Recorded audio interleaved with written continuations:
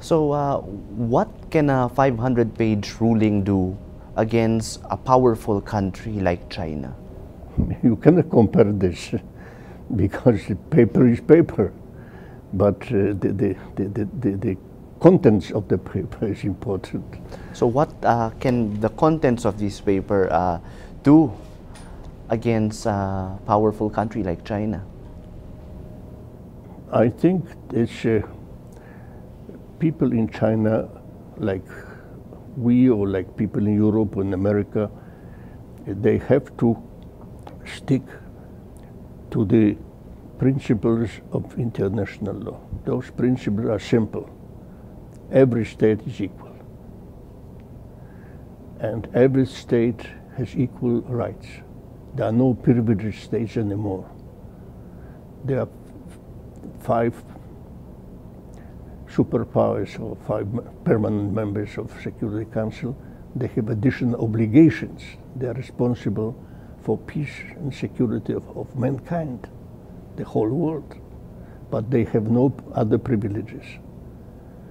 Of course, uh, from political point of view, the big powers try to influence others because of the military mind, economic mind, population mind. But this is only question of their own vision of themselves. But in law, everybody is equal, like in, in, in say, internal system. There are no citizens which are having more privileges than others. In one state, they have the same privileges, same obligations. And also, I think it's uh, in interest also for China to be accepted as a good neighbor and also to have good trade with, with neighbors.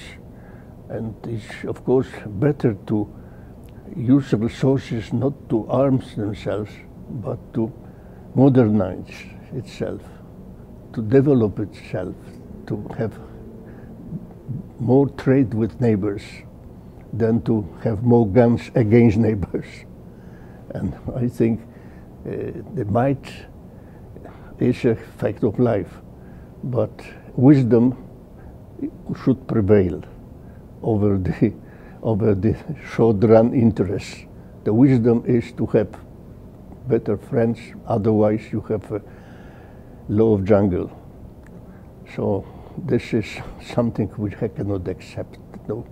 And the world has to be, uh, say, governed by the principles which the we invented international law, not for having a good written codes, but for the basis for cooperation, not for fighting.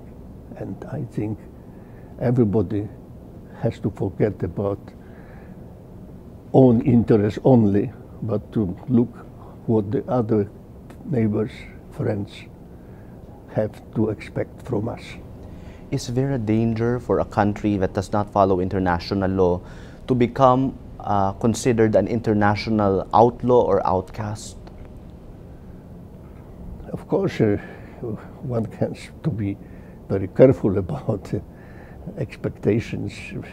It's better to know before what is going to happen. But I think from the long run, if you look into the world of today, there was no don't say world war anymore. For 400 years, you had two big wars. Uh, I survived the Second World War, and it was not easy. I still have remember that we had to run to avoid bombings. We had to run to avoid to be killed by attacking forces. I don't like to repeat it anymore. Uh, I chose this profession to be a diplomat for more than 50 years. I served in seven countries or six countries.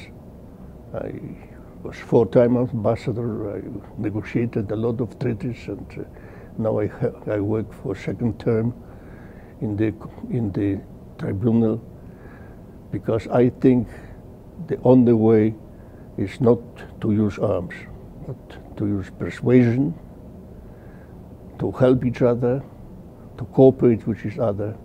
This is the way to develop humanity to develop the world.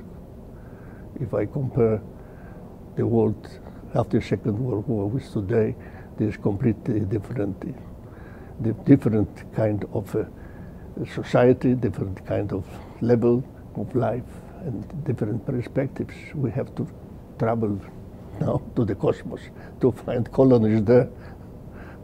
But, but we have to first of all to make order in our own globe. I find that point very interesting because our president, President Duterte, keeps on saying that if we assert the ruling, we would be courting uh, war with China. Uh, and you're saying the opposite. If we uphold international law, we would be avoiding war. No, we, international law is not against anyone. International law is for everyone. You cannot say that uh, the rules which you expect, you can, you cannot uh, select international law. You have to accept it all. You can say this is good for me, so I accept it. This is wrong for me, I don't accept it. You, you have to have, but one time this law is against you, but next time is in your favor. So you have to balance this. And uh, also international is, is uh, created by China too, and practice too. We have to expect this practice. Mm-hmm. This, but we cannot, ex- no one has to be very careful to, to act, not to uh, break international law. Mhm.